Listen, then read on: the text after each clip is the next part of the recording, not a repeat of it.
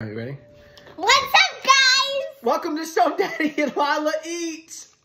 All right, today we're doing I'm Sumdaddy, I'm Lyla. and today we're doing E Fruity cheesecake versus pizza. And this, and this, just to remind you, this is my channel. This is Lyla's channel. All right, we're, we're gonna do the pizza first. Somebody Yeah. got into it already. Yeah. I don't know who. Yummy. Uh, Lyla, Lyla said it's yummy. Here you go. I want, I want the cheese. Okay, Here, he's eat, he's eating the one with I'm getting the the supreme piece. I'm getting just like the cheese Okay. with the tomatoes. It's yummy. Really chewy. That is good, but like it's so Really chewy. chew. You can see the cheesecake is way thicker. Yeah. I expect it to be gummier. Oh, it's tough on I the bottom. the. Get the pink piece. It's tough on the bottom.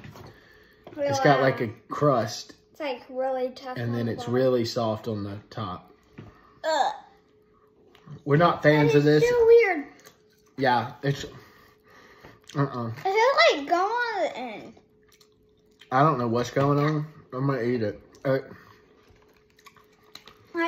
it's so. you like, don't want a gummy cheesecake. You just. No, it's not no, great. I mean, gummy pizza is good, but they really went.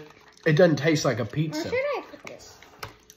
It doesn't taste like a pizza. It tastes like a, a you know, candy. They went for the cheesecake taste on this candy, and it is not good. But that's the review. Oh yeah.